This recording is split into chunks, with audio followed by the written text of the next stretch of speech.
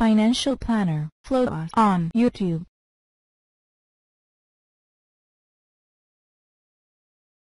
Well, I am getting ready to go to New Orleans. I'm leaving on Wednesday. Not sure if I'll be able to record another podcast before I go. So this may be the only one of the week unless something really big happens, in which case I may record one from my hotel room in New Orleans. But generally, I'm pretty busy at that conference. Hopefully, a few of you will be down there. I know I mentioned it a couple of times on my podcast. I don't know, it's probably too late uh, to get a last minute ticket. Who knows? But uh, certainly, if you're in driving distance of New Orleans, uh, it's pretty easy uh, to get down there. Not really sure the hotel situation, but if you live in New Orleans, you don't need a hotel, so you can sure you can come down to the conference. I'll be there. My family will be there. Uh, we'll have a booth down there. A lot of other good speakers too, not just me. So looking forward to getting down there, listening to some jazz, eating some uh, Creole cooking great restaurants, uh, very charming uh, place to be. A lot of action, a lot of fun in New Orleans. Hey, the stock market today, for a change, was down. The Dow Jones did not set a record. It was down 54 points uh, today. I guess, you know, hard to do that when you got GE, uh, one of your components, down 6.34% on the day. GE has been a horrible stock. I mean, I used to describe this years ago as a hedge fund masquerading as a company. I've never been a fan, or at least uh, for a long time, have not been a fan of GE. It's one of those stocks that I've told people to avoid. I've said, you know, if you're going to buy in the U.S. stock market, this is just one of the stocks that I've said people should avoid. You know, interestingly enough, a lot of people might not know this, but General Electric is actually the only surviving original member of the Dow. You know, the original Dow Jones included General Electric. In fact, the Dow Jones originally had just 12 companies before it was ultimately expanded to 30. But it is the only one of the original 12 that's still in business as a standalone company. You know, some of the companies have been bought up, uh, and so they've been merged into other companies that still exist. Many of them are foreign.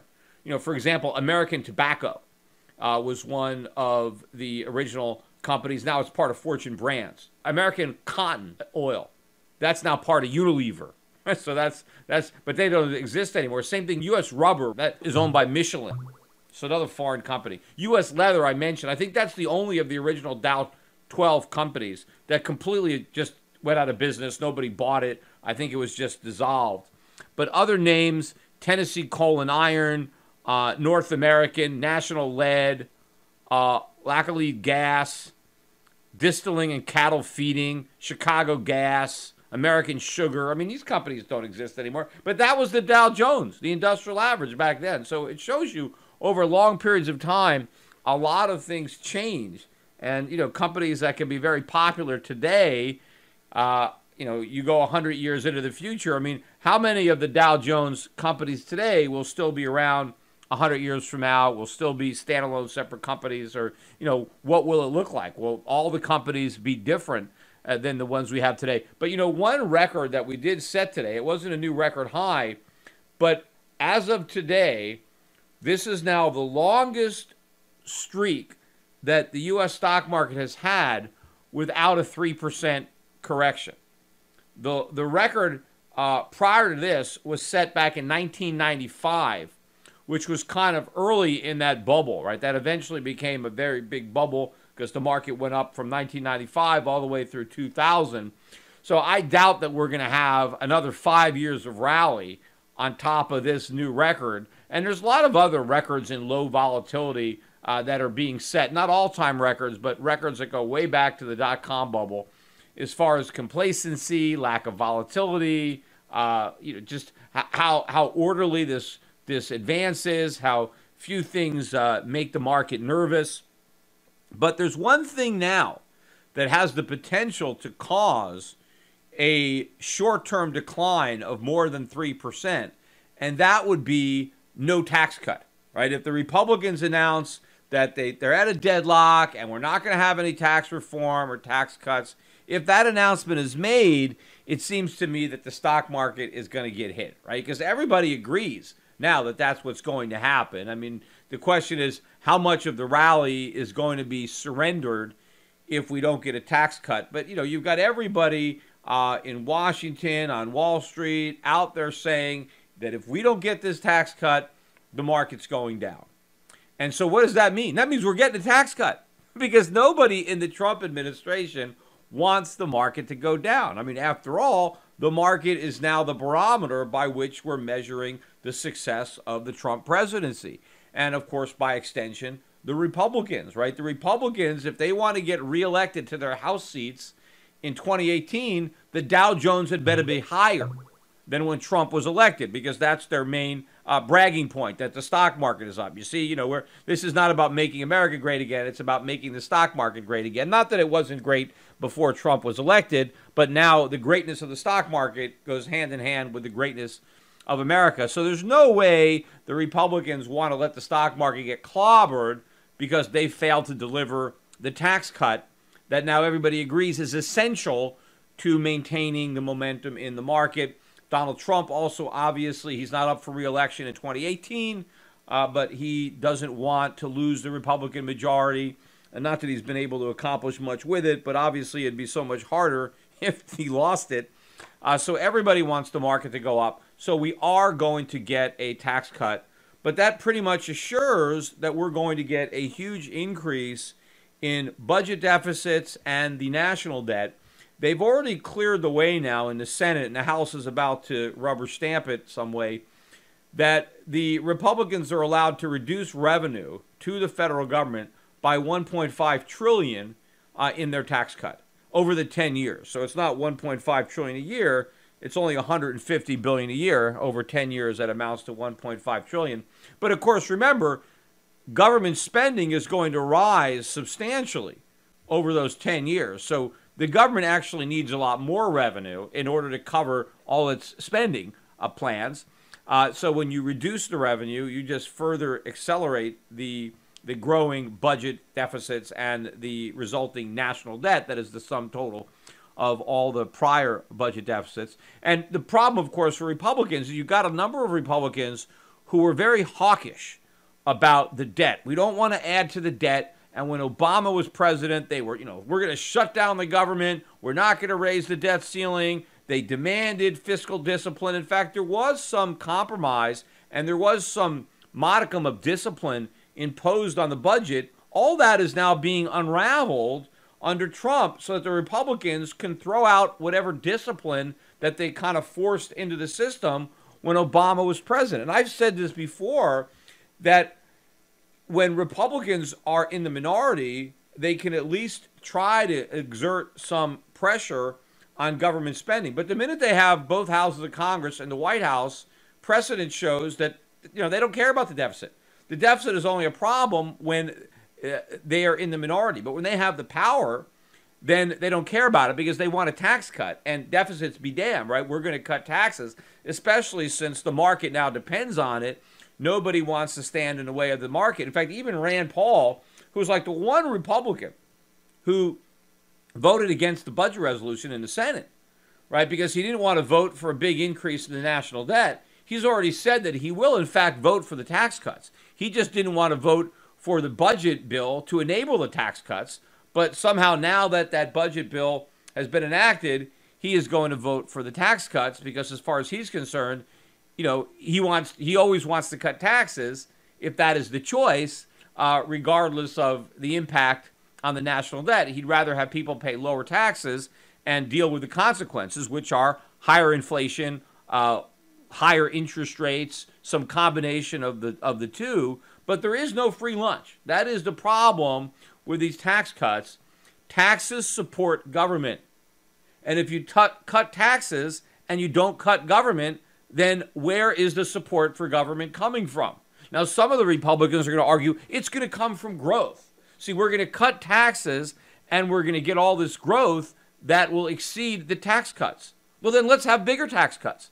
You know, it's the same nonsense when it comes to the, the minimum wage, right? They'll say, well, you know, if we raise it too high, they'll claim, okay, maybe a $100 minimum wage, $200, yeah, maybe we'll get some unemployment, but, you know, we could raise it to 15 bucks and no problem, right?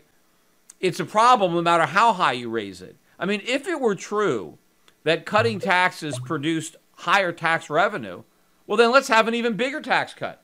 I mean, you know, then we'd have even more revenue. Hell, Let's just eliminate taxes completely. Well, then obviously, if you eliminate it completely, you don't get any revenue at all because you have no taxes. Uh, but if the idea is that whenever you cut taxes, as long as you still have some positive rate, that the growth is going to be so massive that you're going to make up the difference by collecting more at a lower rate, then lower the taxes even more, right? The, the, the fact of the matter is, it doesn't happen. And if you cut taxes and you don't cut government spending, then you simply have to find a less efficient way to pay for all that government. Because government is still getting more expensive. We're not getting it for free. And if we're not going to pay for it with taxes, well, there's some other way we're going to pay for it, right? If you could have government and not taxes, then why even have taxes, right? Just print money and everything will be fine. You can't do that. And so the tax cuts are not going to produce the growth, but we're going to have them anyway because now the Republicans have boxed themselves into a corner.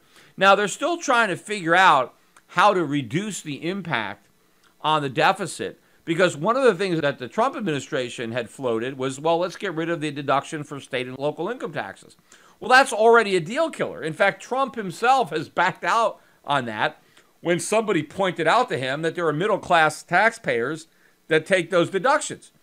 And he acted like he was hearing that for the first time, as if only the super rich deduct their state and local taxes. No, anybody who itemizes deducts their state and local taxes. And so it seems like that that's gone.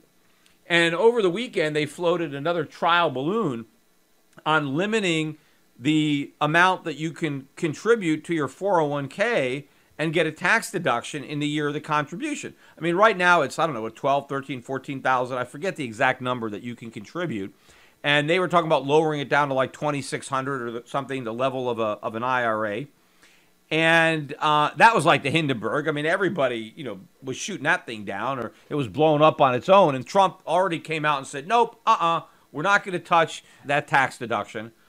The one thing I've heard that I think will happen to get this done in a way that is politically the most palatable and plays a little bit of lip service to the um, the debt is to not lower the top rate. See, right now the top rate, not counting the Obamacare tax, but right now the top rate is 39.9.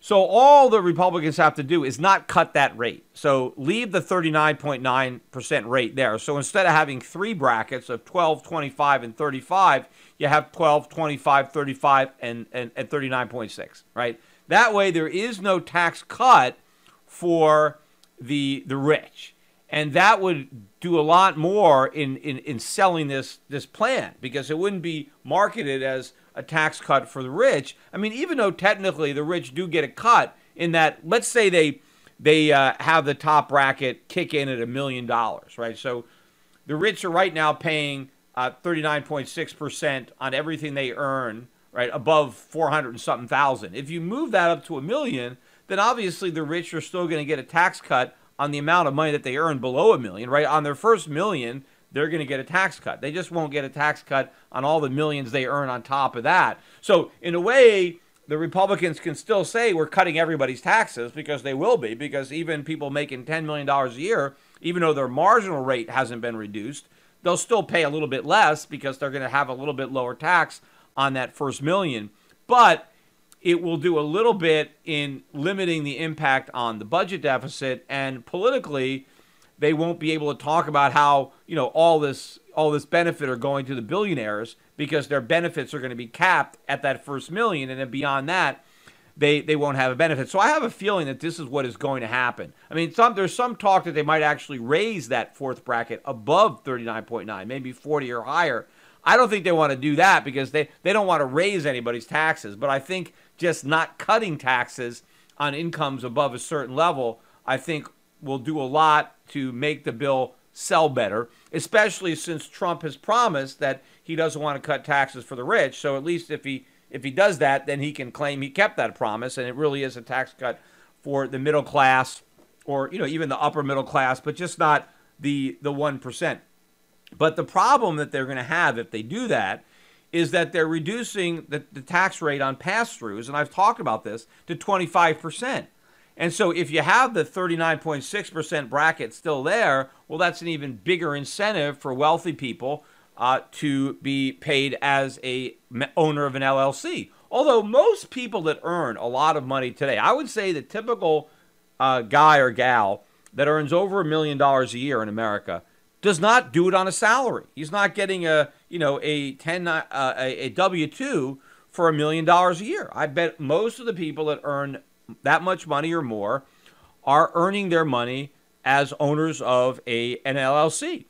Right? Take a, take a you know uh, an NBA basketball player. Maybe he's paid ten million dollars a year to play basketball. I doubt that he's doing it as a W two employee. He probably has a company set up, an LLC, and the the basketball team that he is working for, uh, you know, contracts with the LLC, and it pays the LLC, and then the basketball player. Uh, you know, runs all of his business expenses through the LLC, pays his sports agent, or pays for his office that he has, or with his staff, his secretary, his accountant, whatever it is, and then whatever's left over, he gets a, a dividend or pass a pass through. And right now, it's, it's it's taxed at whatever the the income tax rate is. But if the pass through rate comes down to 25%, well, you know, that guy is going to be paying 25% on his $10 million uh, income. Now, I don't know if the Trump administration thinks an NBA player making $10 million a year should qualify as a small business. So I they're going to have to have ways to prevent that NBA player from utilizing this 25% tax rate, which again to me makes no sense because if Trump really wants to cut taxes for the small businessman, he doesn't have to do anything with the pass-through rate because the pass-through rate already taxes you based on your income. So for example, if a guy runs a dry cleaner and makes $35,000 a year running a dry cleaning. He has one uh, dry cleaner and he's a small business and, he, and he's not making a lot of money running that dry cleaner. Right now, I guess he'd pay taxes at 12% rate based on whatever these new brackets are probably going to be. That'd probably put him in the 12% bracket.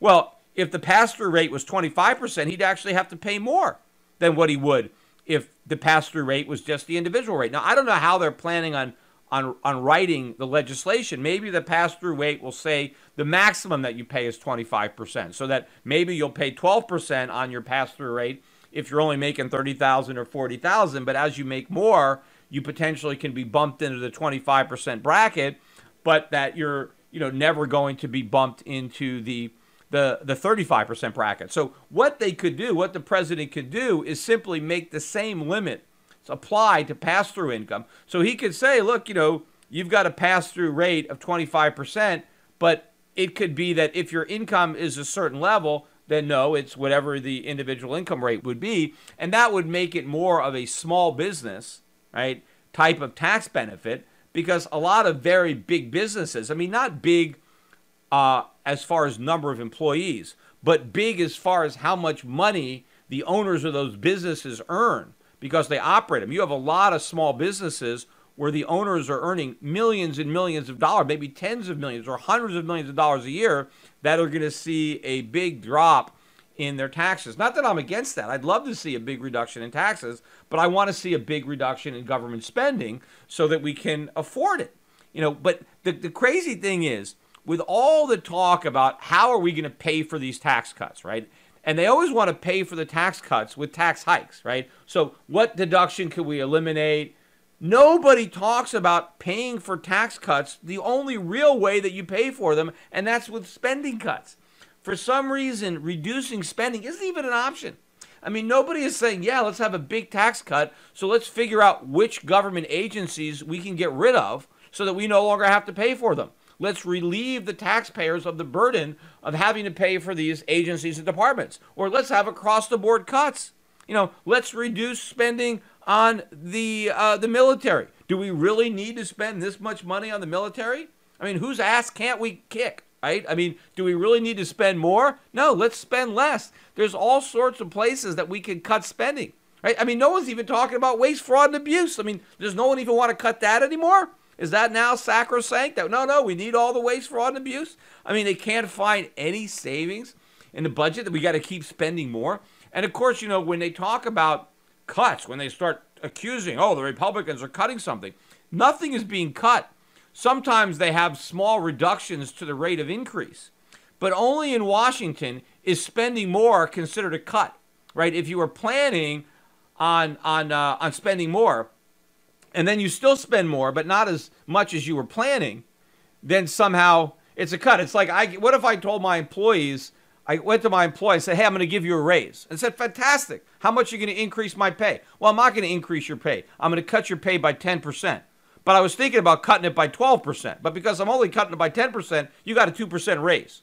Right? I mean, that's basically what the government is trying to get us to buy when they try to tell us that they're cutting spending when they're simply not increasing it as much as they were initially planning. Well, if I tell my employees, hey, I'm not going to cut your salary by as much as I originally planned, they're still getting a pay cut. They're not going to buy my argument that it's a pay raise because I was thinking of cutting it more, but then at the last minute I changed my mind, and so I'm not going to cut it as much, and I'm going to try to masquerade that smaller cut as as a pay hike. So it shows you just, you know, how far the Republicans have moved from their positions when they actually held the reins of power when Obama was president. Oh, yeah, we're fiscal hawks. We can't add to the deficit. We want less government. Well, now they actually have a chance to deliver less government, and they're all missing in action. Nobody wants to do it because they don't actually want to take it away. Look at how hard it was to repeal Obamacare, even replacing it.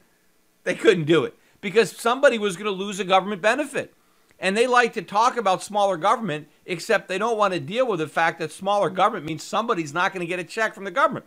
And that person might not vote for them. Or just the politics of it, the campaigning, the ads. You know, you're taking this away. Somehow, you know, not voting to give somebody something is not as bad politically as taking away what they already have. Because it's almost like, you know, you're taking something, right? When once you you you create a government program, a government subsidy, right, where somebody gets something from the government, right?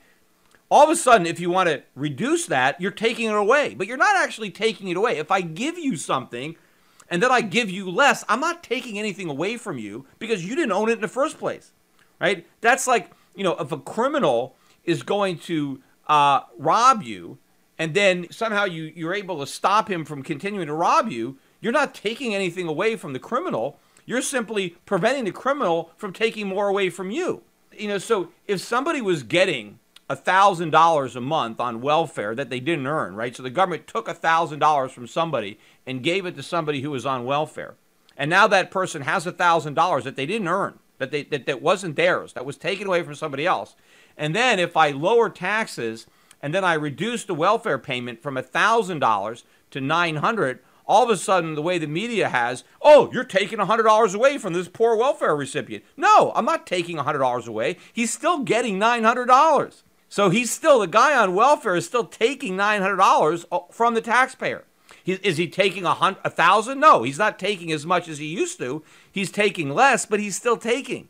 The taxpayer is still paying for the person on welfare. He's just not having as much money taken away from him. But the way it is marketed politically is a redistribution. Money is being stolen from the poor, taken from the poor, and given to the rich, right? It's it's not being given to the rich. It's just not being taken, right? We're just taking less. It's the welfare recipient who's being given less. But the way it looks on the polls or the way it spins politically, that's how it is, right? So you can be against giving somebody a brand new program. But once that program is in place, nobody will ever take it away because now you're taking something away from somebody that's theirs. And now you're a bad person. Now you're the Grinch. That's why every government program that's ever been created is still here. Every time there's a benefit, it never goes away. It's automatically permanent. And all the people who were opposed to it when they were creating it, you know, they well now now now they're opposed to getting rid of it. Right? I mean, a lot of people who voted against Obamacare voted to keep it. Right? Right. But I mean, look at all the Republicans way back when who were opposed to Social Security, who were opposed to Medicare. No, they're not opposed to it now. They all love it. There's not a single Republican probably who would vote straight up to get rid of Social Security. But there are a lot of Republicans who were against creating it in the first place. And, you know, same thing with any new government program. I mean, what about uh, the Americans with Disabilities Act, which was created under George Bush? I went over over and over again how damaging that act is. All the problems that get created by the Americans with Disabilities Act. I mean, there were probably uh, some Republicans who were opposed to it, even though uh, you know Bush, you know, you know, signed it. But there were some Republicans that would have voted against that. I don't think any of those Republicans, if they're still around today, if anybody had the guts to repeal it, none of them would vote to repeal it because now that it's here, it's here for life, right? They've said nothing is as permanent as a temporary government program, right? We still have programs today that were created during the Great Depression supposedly to help end the depression. Well, the depression is over, I, I thought. So why do we still have these things? Same thing like taxes, right? I, I mentioned on this podcast before the withholding tax was a victory tax imposed in 1943. It was a tax to help us win the Second World War. That's why it passed. That's why nobody opposed it. Who would oppose victory? All right, we have a new tax for victory in the war. Who's going to oppose this tax? Nobody's going to oppose it, especially since, you know, if you weren't fighting, I mean, how could you oppose uh, a tax for the troops who are fighting and dying and, and you're at home, you're not even in the war, and you're going to object to paying some taxes so we can have victory and bring the troops home? So nobody opposed it because it was a victory tax. All right, well, we won the war. yeah, right. Well, we lost and that the victory tax is still here. We're still paying the withholding tax. You know, the telephone excise tax, that tax, when you pay your phone bill and you get a federal tax, that was also part of the victory tax. We had telephones before 1943. We just didn't have that federal tax. Came in to help us win the Second World War. All right, well, we won the war. Why don't they get rid of the tax? They never do. They keep adding taxes, adding programs. Government gets bigger, government gets bigger, more and more taxes. Every once in a while, they dangle these tax cuts in front of us. But the tax cuts that we're going to get, and I do believe we're going to get something, it's going to be a tax cut.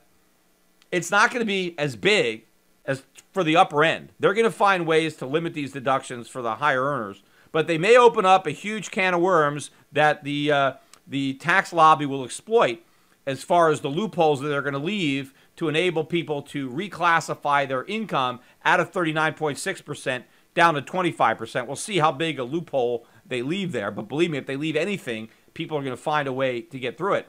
But whatever we get from these tax cuts is simply a down payment on a tax hike. That's all it is. It just means we're going to cut taxes now so we can raise taxes later. And this is not uh, uh, the way to cut taxes because the, the cost of government is measured by what it spends, not by what it taxes. And any tax cuts we have now it's just a down payment on a tax hike later.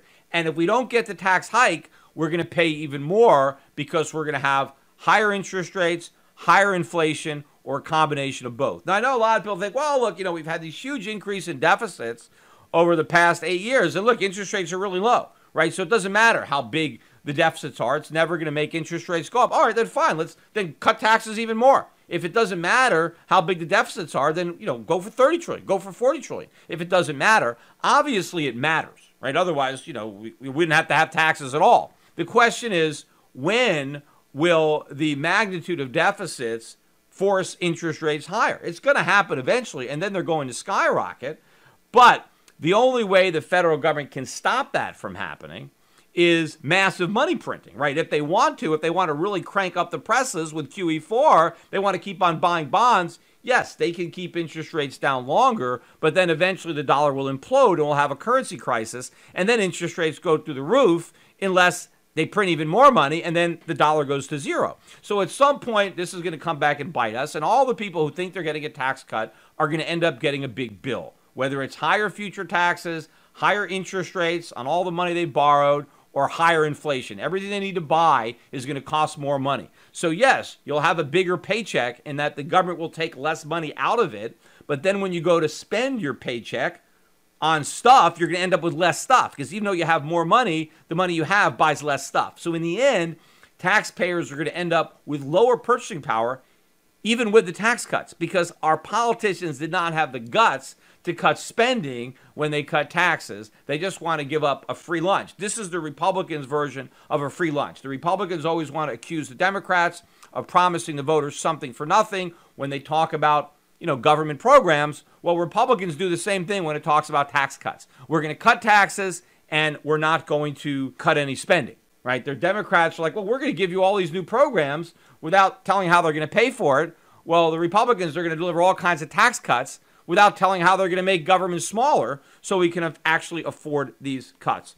Hey, I wanted to uh, wind up this podcast, talk a little bit more again about Bitcoin, which has uh, moved uh, through another milestone over the weekend. We were trading above 6,000. I think we got close to 6,200. Not sure if we got above it. There's so many different exchanges, it's hard for me to keep track. I know as I'm recording now, we're about 5,900. We did get back down to almost 5,600 during the day. So again, the volatility continues, but the direction is clearly up. I would put the support now around 5,000. That used to be resistance. So at this point, 5,000 or so, or maybe just below, is the support uh, in the market right now. But there was some selling intraday, and then you had uh, billionaire uh, Saudi prince Al Alwaleed was talking. I guess he was, I'm not sure where he was speaking. I saw some of his comments on CNBC, and they were asking the guy a lot of questions about a lot of things. And obviously, you know, he's pretty influential because he oversees an enormous amount of money. You've got all the kingdom's uh, oil revenues coming in, and so he's got a lot of money to invest, and he has a huge portfolio, big shareholder. He owns a lot of U.S. stocks as well. And he was asked about Bitcoin and cryptocurrencies. Pretty, t- pretty much everybody now. I mean, whenever somebody is interviewed, no matter who it is, they've got to get their opinion on Bitcoin. You know, where do you stand, pro or con? And of course, the Saudi prince was very negative. He said it was an Enron in the making. I don't understand it. I think it's going to crash. And I think what's interesting, though, about the Saudi prince's criticism is what he points out as being the problems are exactly the benefits that the people who are buying uh, see in the currency. At least a lot of the people who are buying it because they really believe in it. I mean, at this point, there's lots of people who are just buying it because it's going up. So they don't really have any other allegiance to other than the fact that it's going up, right? I mean, there have been few investments that have delivered the type of returns that you've had in cryptocurrencies. I mean, these have been the biggest gainers, and so there's a lot of money now, whether it's hedge fund money or just little, you know, little kids. I, I forget if I mentioned, but over the weekend, my son's 15-year-old friend, for the first time, put $600 into uh, into Bitcoin um, now, I don't think he's a financial genius. I don't even know if he understands what's going on. Maybe he does. I don't know. I mean, there's some smart 15 year olds out there. But a lot of people, 15 year olds who have 600 bucks, and hedge fund guys who are managing uh, billions of other people's money, they all want to go where the action is. And right now, the action is in the cryptocurrencies. So there are some people that are in there because they actually believe uh, that this is a game changer and they believe in all of the libertarian free market aspects of these cryptos. And then you got people that think, look, I don't care. I just want to be in and out and make some money, right? And so they're there. So everybody is being asked where they stand. But he's saying, look, I don't like it. It's crazy. You know, there's no central bank. You know, there's there's no regulation, and these are the flaws that he perceives. And this is exactly why people want it. Yes, I don't want the Federal Reserve involved. I don't want a central bank. I don't want regulation. So, I mean, as far as the prince is concerned, that's why he doesn't want it. And of course, when your typical Bitcoin buyer hears this, it's like, oh, perfect. This validates. You know, he's afraid. He's he's part of the status quo, right? I mean, you know, now somehow the prince and I agree, right? We're both on the same side of the Bitcoin argument, but for very different reasons. I like the aspects, the things that the prince doesn't like. Those are the things I like about it, right? I just I just don't think it's going to work for other reasons. And everybody who's listening to this podcast knows by now the reasons that I don't think that Bitcoin is going to work. In fact, I did a debate earlier today. My my Canadian firm Echelon had request set this up. They I think the guy's Canadian. I'm not sure, but he wanted to do kind of a debate. It was live on his website or his Facebook page, but it was like an hour discussion debate. Bitcoin, gold, you know, what's better, or is Bitcoin going to work? And so, but I mean, you can you could uh, listen to that if you could figure out where it is. But the people on my podcast know all the reasons that I just don't think that it's going to work as money. I just don't think it's going to succeed as a store of value. And, and since it's, it's not going to work as money, uh, then ultimately it's going to fail. It's not going to deliver what is promised. But in the meantime, it's a speculative asset, and everybody is gambling as to whether or not they think it's going to be a success. But I disagree with a lot of the things that Jamie Dimon said about the cryptocurrency, that the Prince is saying, but we agree on ultimately what's going to happen to it in that I think it's going to collapse, and I think a lot of these other fiat uh, digital currencies are also going to collapse. But you know, it's interesting that these guys never really hit upon the reasons that I do. Although it is interesting that a lot of the people who support Bitcoin and they argue that it can work because they say, well, you know, fiat currencies have no uh, intrinsic value; they're basically worthless, and so they work. And so since they work, well, the cryptocurrencies could work. And I argue that, well, they don't really work well because they've lost value over time. And as a result, we've had a transfer of wealth. We've had this big, you know, divide between the rich and the poor. We have asset bubbles. We have malinvestments. I think we don't have as vibrant an economy. I don't think we have nearly as high a standard of living as we would have if we were operating under a gold standard. So it doesn't work well, but it works, you know, works for government. I mean, certainly government likes the situation that they have. But that is a way, if you're going to look at why I think dollars and euros and yen can at least succeed superficially, where I think these cryptocurrencies can't, is because you do have that government infrastructure uh, backing it up. Even though there's no real value there, you do have that to back it up, and that's something that, that the cryptocurrencies don't have. I mean, right now you have buying because people think they can get rich, and so you have buyers. There's no shortage of buyers now, but that can easily turn around when the people who have been buying try to cash out. And you know, when the people who have been buying want to cash out, there needs to be another group of buyers willing to get in. And if they're not there, if you run out of buyers, if you run out of new layers, right? That's why I, I look at it as a pyramid scheme or a Ponzi scheme. You run out of new people, right? If all the people with millions and billions in bitcoins, you know, if they want to buy stuff, they want to buy houses and planes and yachts and whatever it is they want to buy, somebody's got to be willing uh, to sell them those things for Bitcoin and not turn around and sell the Bitcoin themselves. I mean, Bitcoin is going to have to ultimately be money, right? There's going to have to be, you know, for Bitcoin to go to a million dollars of Bitcoin, right, wherever people think it's going to be. I mean, pretty much the whole world is going to have to use it as money. And dollars and euros and yen are basically going to be worth nothing, right? In that in that environment, because you know what are you going to be able to buy with that? If everybody who's selling stuff wants to get paid in bitcoins, and no one wants to get paid in in dollars or, or, or euros. But I think you know long before it gets to that point, you'll have enough people wanting to cash out. And at some point, there won't be enough people there to take them out. There won't be enough new money coming in. Because again, as the prices go higher and higher, you need more and more money to maintain that price level. So it becomes harder and harder. But yes, now, I mean, you know, you've got all this money flowing in, all this new speculative money that just can't get enough of it because they look in the rearview mirror and they want to jump in on the returns.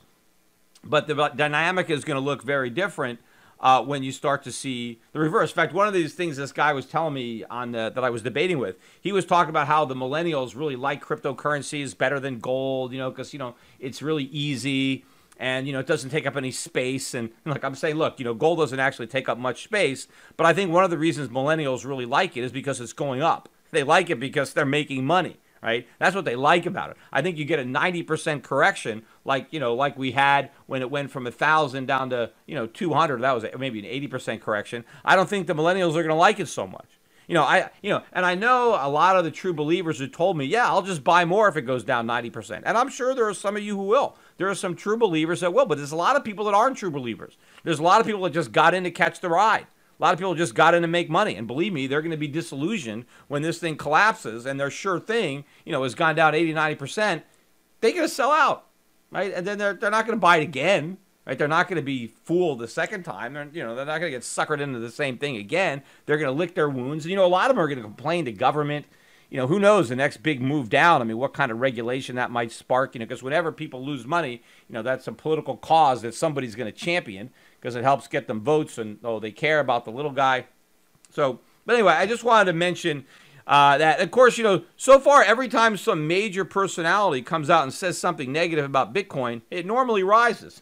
so you know, we'll see. We'll see if you know we end up getting a Saudi prince bump and we move from six thousand to seven thousand or wherever we're going to go on Bitcoin. And again, you know, he the guy was telling me, you know, why are you telling why aren't you encouraging people to buy? Look, I'm not going to encourage people to gamble. People can make their own decisions if they want to gamble, right? Because hey, Bitcoin can go to 10,000, can go to 20,000, can go to 30,000, can go to can go to 1,000, can go to 100, can go to 0, right? So it's a gamble either way. You decide. The momentum is there, right? So I would say on any given day it's more likely to go up than down. On any given day if you buy the dip, you'll make money until you don't. Right? That's the thing. You don't know when your luck is going to run out. And so, you know, you're, you're you know, you're playing with fire you know, if you're doing it. Now, so far, no one's getting burned. Everybody's, everybody's, this is great. I'm playing with fire, but, you know, it's not burning me. Well, at some point, people are going to get burned, and I don't want to encourage people to do something if I know they're ultimately going to get burned, right? When the music stops, if you're holding the bag, if you're not, if you're not in a, if you're not in a chair, you're out of luck. So people can decide on their own if they want to play the game, and they have to decide on their own when to get out. The only advice I've been telling people is if you do have profits, take some right? Don't don't leave the entire bet on the table, right? Play with the house's money and take your own money and and do something safe with it. you know, like uh, you know, invest, you know, invest with me or invest in gold, or you know, I mentioned in this company uh, GoldMoney, which I think is an excellent play. Again, I can't give stock advice uh, on this uh, podcast, but talk to one of my brokers because you know there are ways to benefit from cryptocurrencies. There are ways to have to invest in businesses that will profit from the crypto bubble if it continues to get bigger and bigger and bigger. And if it never pops, well, then the profits will continue to grow. But I think I'm I think we got a situation with this company where we profit from the bubble and then we profit more when the bubble pops. Because I think gold is going to be the primary beneficiary of the collapse of the crypto bubble. Because I think a lot of people who have made the movement from fiat to crypto will ultimately make the movement from crypto back to gold. I mean, they should have gone to gold all along. That's where they should have been. But they got sidetracked by the allure of all the easy money being made in the cryptos. But again, I've said this before the people who have jumped from fiat to cryptos have gone from the frying pan into the fire. They just don't know it yet, right? And when they find out, when the heat gets turned up, and you know, and then now they're going to really try to get out of the fire, they're going to come home to gold.